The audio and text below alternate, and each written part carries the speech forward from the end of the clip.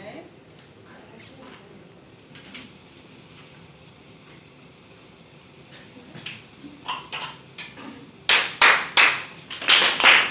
All right, class. So what did I do first? Pop the balloon. Pop the balloon. Perfect. What did I do second? Drew a smiley face. I drew a smiley face. Okay, what did I do at the very end?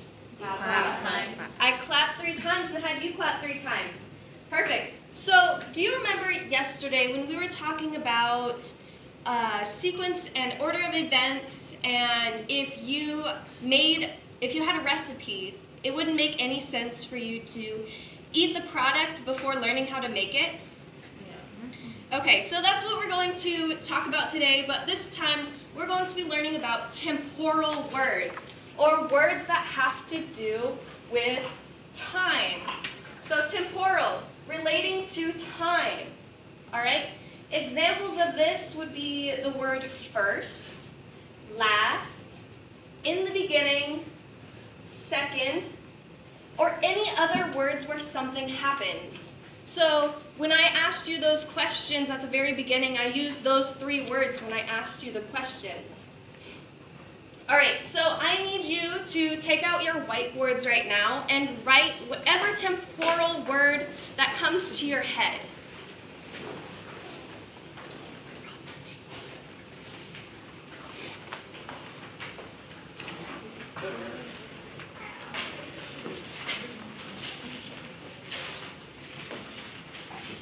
Show you? Yes, when you get the word written down on a sheet of paper on your whiteboard, please show it to me. Perfect, Sophia. Perfect. Perfect. Second, next, first, next. Then last, next. Perfect. First, after. That's a good one.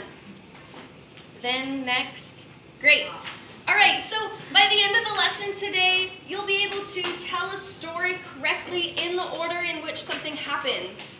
And this is very useful when learning to tell directions or listening to directions. When someone says, let's do this first, or you need to do this last, it's very important that you listen to those temporal words in order to understand the correct meaning. All right. so, I have a poem up here for you, and we're going to read this poem together. It's one of my favorite poems from when I was younger. It's actually from an author called Shel Silverstein. It is on your desk. There is one per group. There is a very cool picture that I'm going to put up here for you guys. Okay, and we're going to read it and do an activity with it. So it says, recipe for a hippopotamus sandwich. A hippo sandwich is easy to make. All you do is simply take one slice of bread, one slice of cake, some mayonnaise, one onion ring, one hippopotamus, one piece of string, and a dash of paper. That ought to do it. Now comes the problem. Biting into it. Okay, so it's a silly poem, and there's a picture, there's a sandwich, there's a piece of bread, and, oh, that's the cake, and the piece of bread, I guess, is at the bottom, and there's a huge string tying it all together. Okay, so we are going to learn how to make a directional um, paragraph and tie it together with a concluding sentence. So we're going to take three of these directions and we're going to write a paragraph about them. So I'm going to choose one slice of bread, one onion ring, one hippopotamus that I drew from the sandwich bags in the groups. Okay? So those are my three ingredients. And I'm going to write a paragraph including each of these directions and a closing sentence just to tie it all together. And you will do the same within your groups after I show you my paragraph. So I took these three directions and I wrote a paragraph. Let's see. So I said, to make a hippopotamus sandwich, you must first take one slice of bread, then add one onion ring, finally one hippopotamus. After all that, you will have you will get part of a hippopotamus sandwich. All right, so can anyone tell me if I have temporal words in here? Can you raise your hand? Ashlyn, do I have temporal words in here? Yes. Perfect. Can you come up and underline one of the temporal words? Is there a marker? Yes, there's markers up here. Any color you want.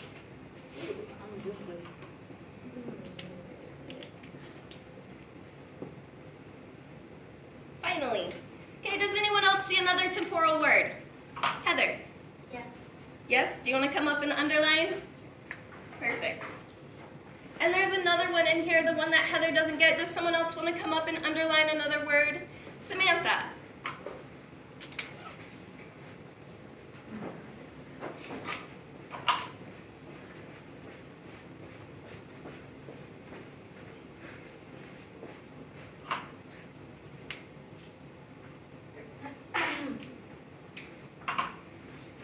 Thank you guys for your help. All right, there's actually another one after after is also a temporal word, and I will underline that for you as well. All right, so within your groups, you have a little baggie like this, full of different sayings, and you are going to draw them out, draw three of them out of the bag. You're going to order them in the order of the poem that is also on your groups. So if you get some mayonnaise, one hippopotamus, and a dash of pepper, you would order those. So dash of pepper would go last, and then some mayonnaise would come before hippopotamus. Okay, and then you're going to write that on a piece of paper, and that is actually going to be your exit ticket out of the classroom.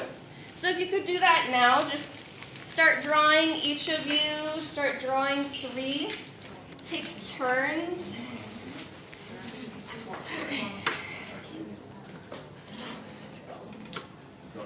So one slice of cake would come with first. First. Perfect.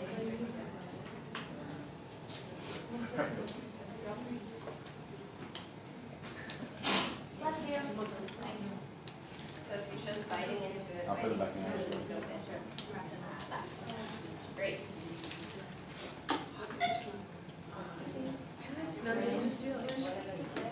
Or like one per group, yeah.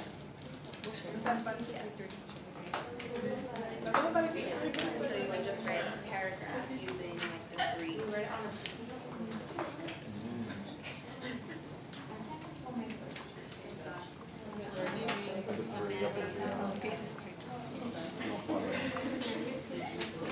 So did you get yours? So you would do dash of pepper, slice of bread, one slice of cake. So which comes first, the bread or the cake? Perfect. So you would write, what does your first sentence sort of look like?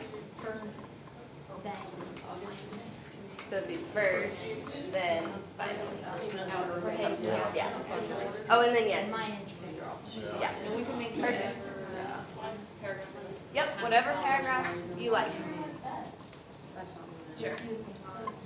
Yeah, just using the temporal words. Make sure you're using those temporal words that we stated in the very beginning.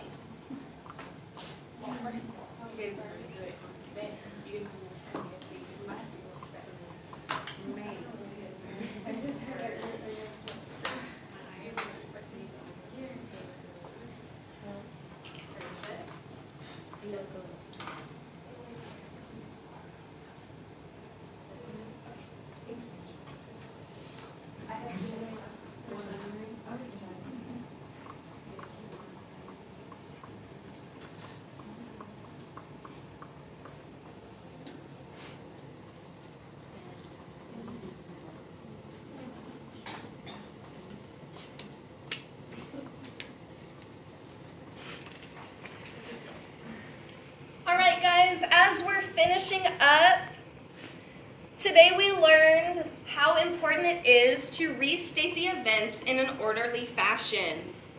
We're able to order three of these events and conclude it with a nice concluding sentence, which will help us in the future when talking about um, anything with using these temporal words. Can someone give me an example using a temporal word?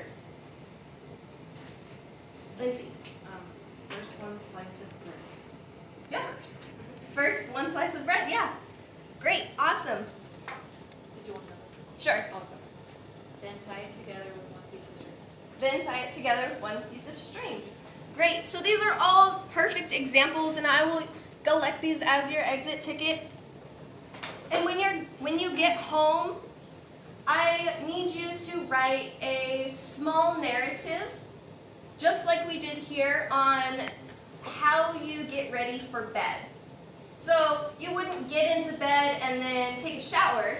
So you wouldn't first get into bed and then take a shower, right? So if you were, my my example would be, when getting ready for bed, I would first take a shower, and then put on my pajamas. Then I watch some TV. Finally, I get into bed and get some rest. Okay, so that would that would be what your um, homework would look like. And I will collect those from you. Thank you so much.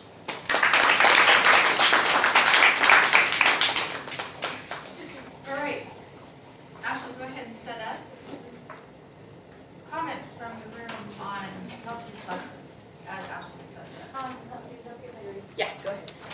Just go ahead and I really like your voice. Like, Yeah. Like while I was talking, I mean, I liked how I had like a little type of vibration in it. Thank you. Sophia, were you gonna say the same you.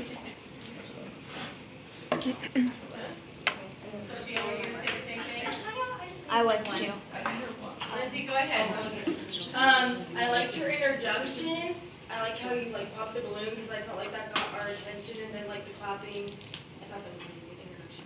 Thank you.